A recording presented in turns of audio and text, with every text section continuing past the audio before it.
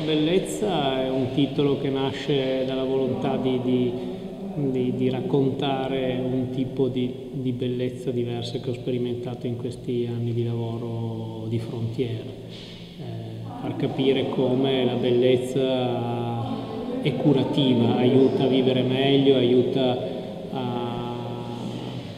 iniziare dei processi che possono essere anche dei processi che conducono alla riconciliazione delle persone tra di loro nella vita e verso il futuro.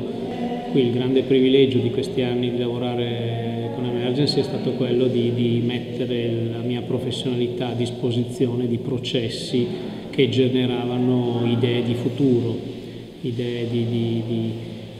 considerare le vittime della guerra, delle povertà come delle persone, non come dei numeri. Bellezza in questo, in questo libro racconta di, di, del rispetto, del rispetto che noi abbiamo eh, riservato a, questi, a, queste persone eh, non come profughi o poveri o vittime di guerra, ma semplicemente come eh, portatori di diritto, persone che avevano diritto ad essere curati a, e a stare in un luogo degno di questo nome. Ha lavorato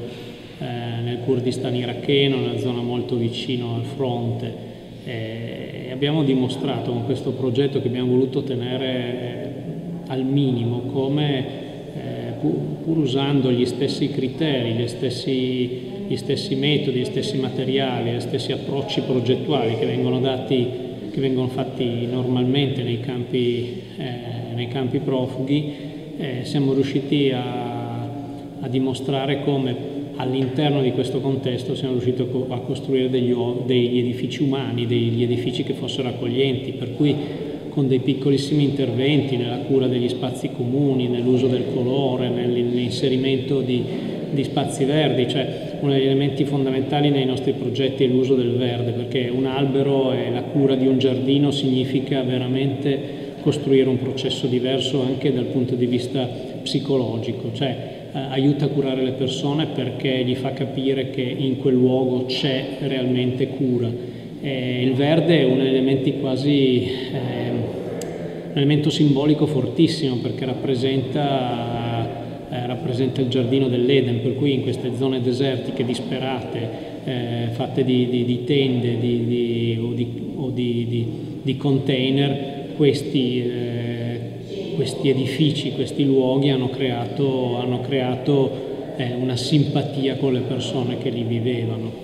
Questo è un po' il senso anche, di, di, anche provocatorio, no? di mettere in contraddizione la bellezza con la, la, con la, eh, la sporcizia, nel senso che in questi luoghi più, più duri, più, più, più separati da, da da qualunque tipo di realtà che possono essere le zone di guerra piuttosto che i campi profughi, ma anche eh, i luoghi di degrado che abbiamo incontrato in Italia, come questi semi di futuro in qualche modo anche da questa sporcizia siano degli elementi che eh, costituiscono un momento di speranza per il futuro.